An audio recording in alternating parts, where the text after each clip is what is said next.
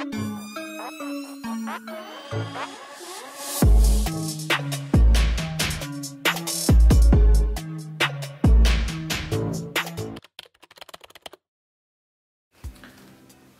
うも豊です。と今回は、えータイトルにも書いてある通り、えーリメイク企画っていうことで、まあ、こちらのラックにかかってある、えーシャツ2着をドッキングしていきたいと思います。今回使うシャツなんですけど、え1着目はこちらの、えリーバイスのシャツですね、ま、こちらはトレファックで、え購入したやつなんですけど、ま、デニムシャツですね。ちょっとオーバーサイズにえなってますね。古着で買ったっていうことで、ま、若干汚れてたりとかちょっと穴開いてたりするんですけどまあいい感じにできればなって思ってますね。2着目がこちらのチェックシャツなんですけどこちらのシャツは、まあ、45年ほど前にえー購入したものでルイスのものなんですけどこちらはあの、まあ、バンドカラーっていうのと、まあ、ウール素材で、まあ、結構上品で、ま、ロング丈でサイドにスリットも入ってるっていうシャツですね、ま、系統もかなり変わってきたってのと、まあ、久しぶりにその、まあ、僕引っ越したんですけど、まあ、その時にあのクローゼットを整理してる時に、まあ、見つけて久しぶりに着てみたら肩幅が結構狭いなって思ったので、まあ、なかなかこれ着れねえなって思ってただ捨てるのちょっともったいないしっていうことで、まあ、それだったらちょっとリメイクしちゃおうかなっていうので、えー今回こいつを使いたいなと思います。ということで、えー部屋の方移動してきたんですけど、えーここが僕のそのショーイングルームっていうか、まあ、服部屋ですね。まあここでちょいちょいそのミシンとかいじったりしてるんですけど、まあ、ミシンいじってるって言っても、まあ、今年の3月とかからなんで、まあ、まだ全然うまくないんですけど、えードッキングぐらいなら、まあ、できるかなっていうので、まあ、今回この2着を、えーいい感じにちょっとできればなと思います。ドッキングしていきたいと思うんですけど、まあ、その前にそのやることとしては、えー完成形をちょっとイメージしとかないとなっていうのでそうですね、まあ、完成形としてはほんとこういう感じをイメージしてますね、まあ、完成イメージとしては、えーこんな感じですかね。はいということで、まあ、完成イメージが決まったので、まあ、この3分の1あのこのデニムシャツの方を切らなきゃいけないんですけど、まあ、ポケットがあるので先にこのポケットをリッパーで外していきたいと思いますちょっとこのリッパーを使ってやっていくんですけど大変なんですよね意外と。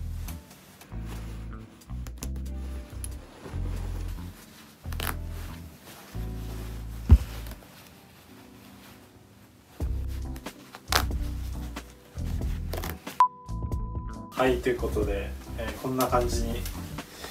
まあ、この半分切る部分はそのポケットの方を取ることができたんで、えー続いて切る作業に移っていきたいなと思います。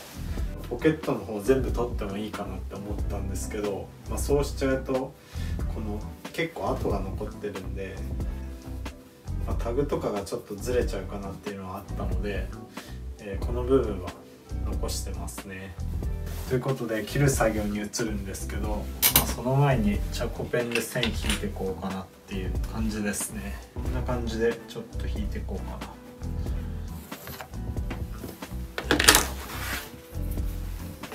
はいということで切っていきます。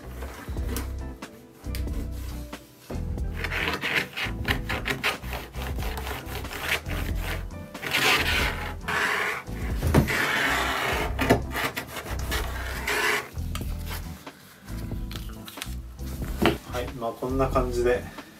えー切れました。で次は、まあ、チェックシャツの方、えー切っていこうかなと思います。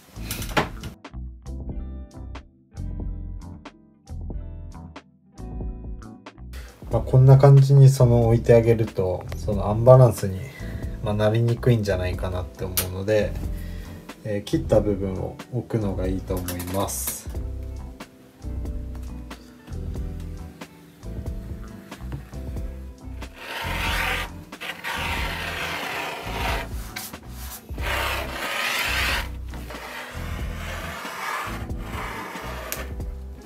はいということで、えー、こんな感じに、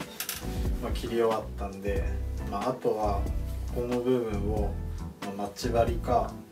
えー、クリップで固定して、まあ、塗っていきたいなと思います。僕はこのクリップを使って、えー、固定しようかなって思うんですけど、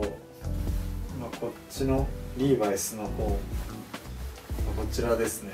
こちらを、えー、裏返しにまずしていきますね、まあ、なんで裏返しにするのかっていうとちょっと縫い目が見えちゃうんですよ、まあ、こんな感じに裏返してもらってチェックの方はあのまあ裏返しにしないで肩の部分にくっつけるって感じですかね。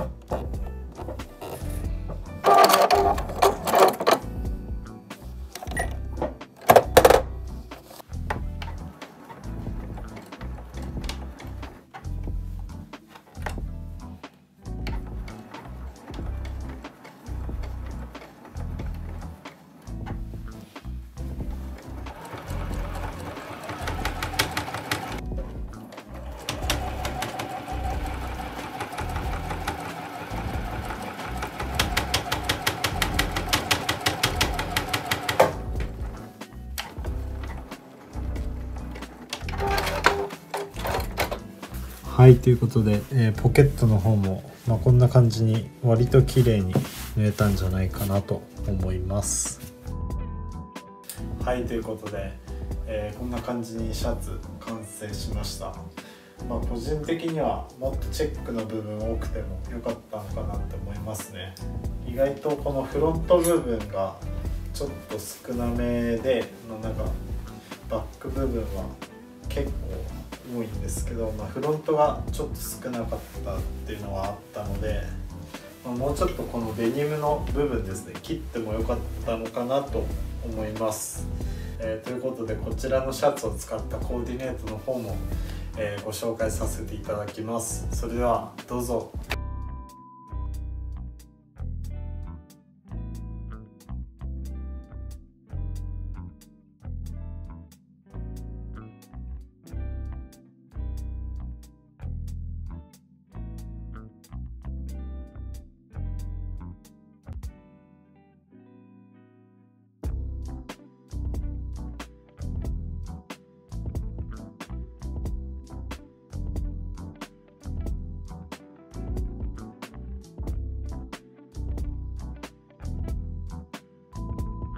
こちらのリメイクシャツを使ってコーディネートの方を組んでみたんですけど、えー、1個目はこんな感じで、えー、リメイクシャツにリーバイスのフレアデニムを合わせたコーディネートですね。でこちらのコーディネートは、まあ、こういったブラックのシャツなんであのパンツの方も、まあ、黒のワイドパンツとか合わせた方がまあ、そういった色の統一感だったりとか、まあ、モードな雰囲気は出るかなって思ったんですけどそれだと結構ありきたりな感じに見えちゃうかなって思ったので、えー、デニムを履いてますね。リーバイスのシャツっていうことで、ま、デニム素材なので、ま、パンツもデニム履いてあげることで、ま、そういった素材の統一感だったりとか、えー、ブランドの統一感っていうのも出してますね。白のプリント T シャツに、えー、デニムパンツを履いて、まあ、その上にこのシャツを着ているっていうことでラフな感じも出せてるんじゃないかなと思います。続いて2コーデご紹介させていただきます。それではどうぞ。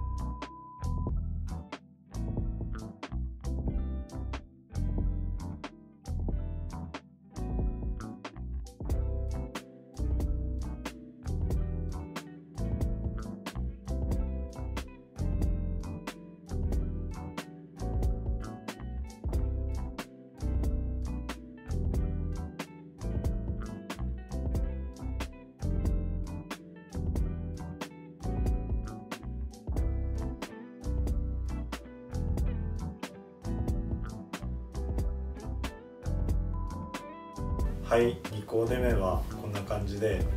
えー、リーのオーバーオールにリメイクシャツを合わせたコーディネートですね。こちらのコーディネートは、まあ、オーバーオールを着てるんですけど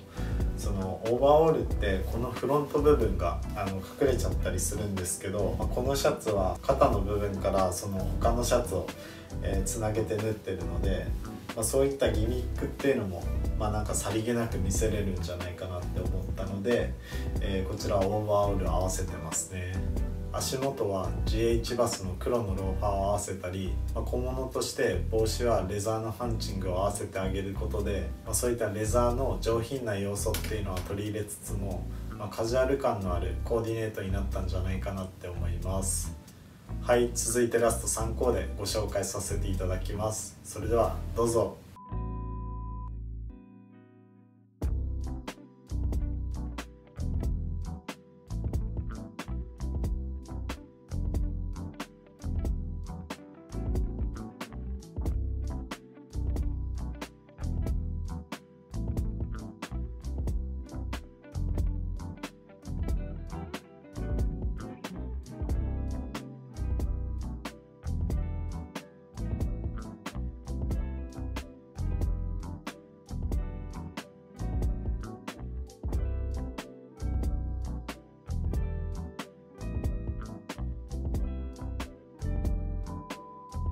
はいラスト3コーデ目はこんな感じで、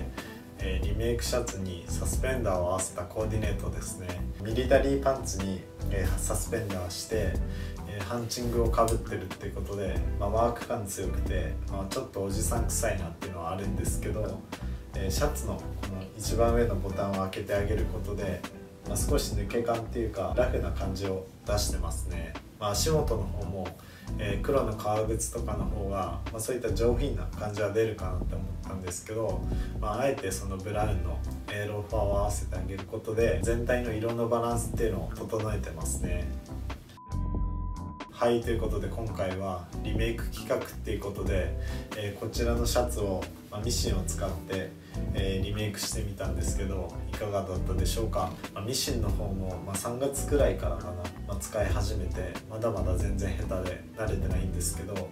まあこれからもっともっと練習して、まあ、なんかクオリティの高い服とかを作れたらなって思ってるので、えー、ぜひ楽しみにしていてください、まあ、あと僕引っ越したばっかりで家具とかもマジで全然ないんですよ、まあ、なので、まあ、こういったリメイク企画もそうなんですけど、ま部屋が広くなったっていうことで、まあ、なんかいろいろ家具とかも作っていきたいと思ってるので、えー、ぜひそちらの方も楽しみにしていてください。僕のチャンネルでは、えー、服のリメイクだったり家具の DIY だったり、えー、コーディネートの紹介などもやっておりますのでえー、ぜひチャンネル登録高評価よろしくお願いいたします。あとインスタグラムと、えー、ツイッターの方もやっておりますので概要欄に貼ってある URL からフォローの方よろしくお願いいたします。それではまた次の動画でお会いしましょう。